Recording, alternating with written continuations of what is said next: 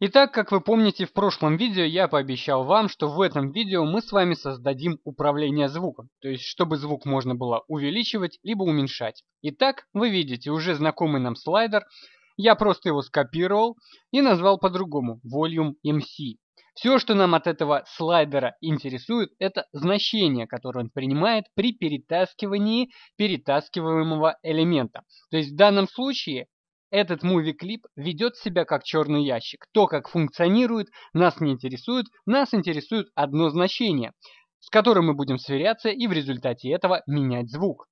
Итак, давайте откроем панель ActionScript и посмотрим, где нам лучше прикрепить функцию, которая будет изменять звук. Итак, когда мы нажимаем кнопку Play BTN, музыка запускается, Запускается функция PlaySong, которая запускает звуковой файл, а также подключает слушатель событий, который выполняет функцию Update Progress каждый кадр. Эта функция, как вы помните, изменяет позицию перетаскиваемого элемента, при помощи которого мы можем искать нужное место в песне. Как вы понимаете, в этой функции и нужно подключить изменение звука. То есть каждый кадр мы будем проверять, не изменился ли звук, если изменился, изменять. Итак, давайте пойдем в функцию Update Progress. Вот эта функция, и здесь мы будем вызывать с вами новую функцию, которая будет называться Adjust Volume или Change Volume. Изменить звук.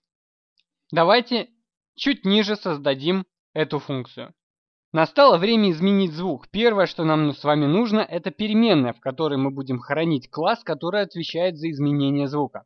Давайте назовем эту переменную transform, трансформация. Тип у этой переменной будет soundTransform. Именно этот класс и отвечает за изменение звука. Сейчас наша с вами задача создать экземпляр этого класса. Создаем мы его через SoundChannel. Далее мы изменяем значение громкости звука. Например, давайте поставим 0.5, наполовину меньше.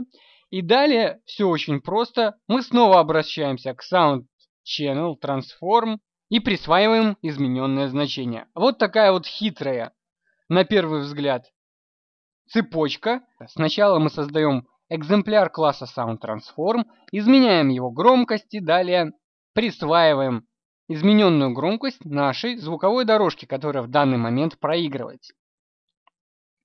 Разумеется, здесь мы должны использовать не 0.5, а значение нашего слайдера. Поэтому мы обращаемся к нашему слайдеру, к его значению value, которое он принимает. Итак, как вы видите, все очень просто. Давайте нажмем Ctrl-Enter, чтобы протестировать. Вы видите, что в окне данных у нас есть ворнинги.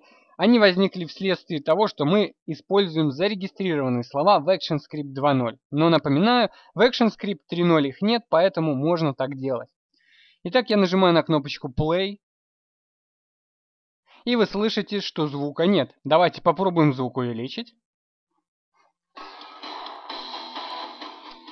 Как вы слышите, звук есть, и мы можем регулировать его значение.